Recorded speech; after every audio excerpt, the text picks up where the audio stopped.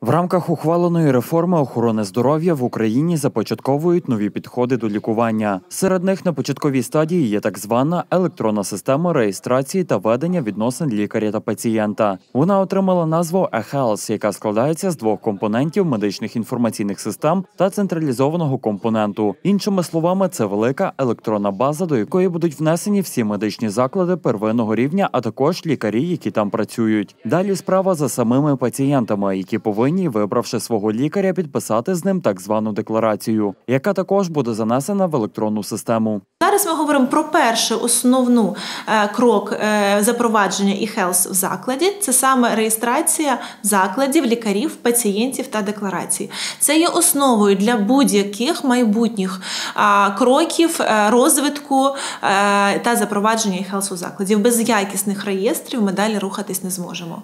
Для того, аби дізнатися, як саме працює нововведення, фахівці з Києва та Харкова навідалися на Закарпаття, де зібравши лікарів первинної ланки з усієї області, намагались покроково роз'яснити роботу з електронною системою.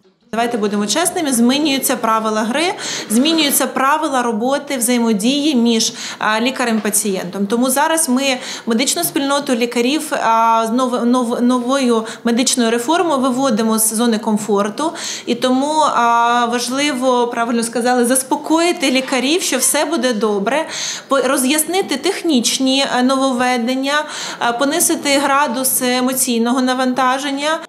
На Закарпатті одним із піонерів введення електронної системи eHealth є первинні заклади охорони здоров'я Мукачева. Вже протягом цього місяця вони очікують підключення до медичних інформаційних систем, тим самим даючи старт реєстрації пацієнтів, які підписали декларацію з лікарем, якого вони обрали.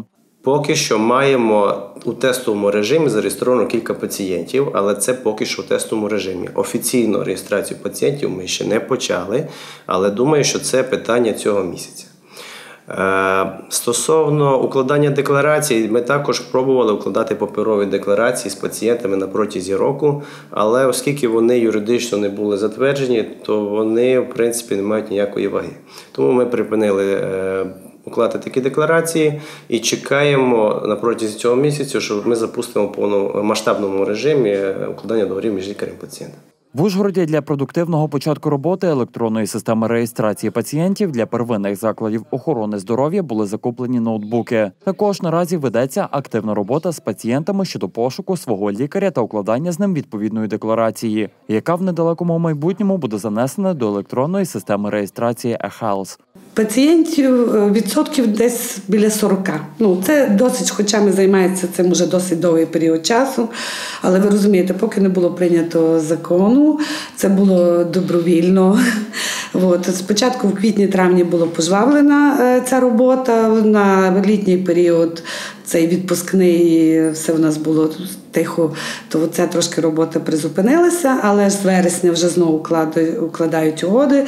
Наразі програма працює в тестовому режимі. Її термін закінчується у вересні 2018 року. Саме до цього часу кожен українець повинен укласти договір з лікарем, якого він обрав, та бути зареєстрованим в електронній системі eHealth. Далі ж розпочнеться наступний етап, а саме створення та введення електронної медичної картки пацієнта.